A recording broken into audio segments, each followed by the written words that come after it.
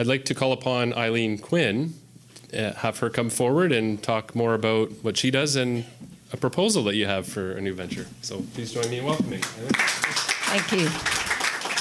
Thank you. Well, I arrived here in Marmora. Um, well, I left Toronto in 1994. I got on a sailboat, and I thought I was going somewhere with my husband for six months to a year. But 12 years later, we touched uh, land in Belleville and ended up here in Marmora. And I love that this is called Creative Hastings um, because I think that says something important about our setting. The fact that we're this motley crew of little communities in a very rural area is a source of our creativity. I think sometimes we feel like we need to apologize for our structure. In no way, this is who we are. And I think there's something inherent in a rural setting that um, fosters creativity. Maybe it's the do it yourself mentality that you have to have, maybe it's the uh, sense of responsibility we have to one another to make things work.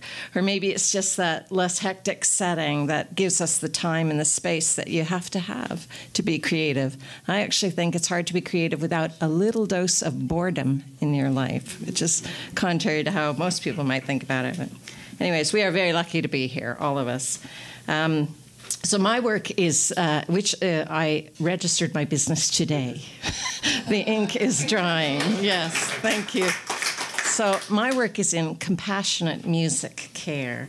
Um, I come out of a dual background uh, before I ran away sailing uh, in healthcare and music. And uh, so I bring together clinical and musical skills to deliver music, not as entertainment, the way I've been doing tonight, but as um, a therapeutic service to people who have serious advanced illness and their families. Um, I play and sing live, one on one, at the bedside. And this is an art, but it's based on sound science. I'm trained to tailor music to the immediate and changing needs of the individual by observing and responding to vital signs their heart rate, uh, their respiration, facial expression, signs of physical restlessness. Um, and uh, the use of music, uh, if you know what you're doing, can help to relieve pain, anxiety, agitation, labored breathing, sleeplessness. It can create a safe context to experience complex emotions. It can foster an atmosphere of grace, dignity, and compassion that supports the search for meaning at a very difficult time.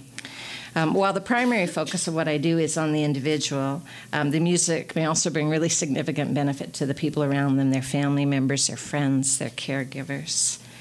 Um, particularly at the, as the end of someone's life draws near.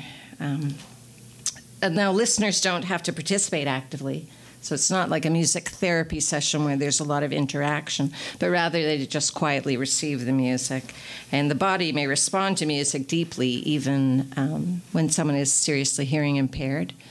We, we think of just in terms of the vibration of sound acting on our eardrums, but it acts on our entire bodies.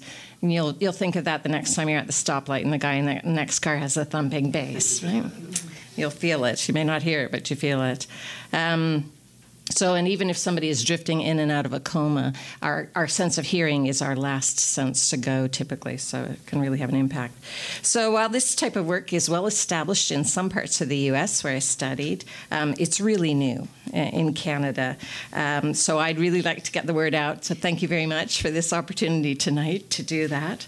Um, uh, and if you are aware of community groups who might be interested in hearing about um, the work, um, I'd be very happy to go and do presentations. Presentation, so just come and see me. I'm so new, I don't even have proper business cards, but I do have a little one sheeter I could give you. Thank you.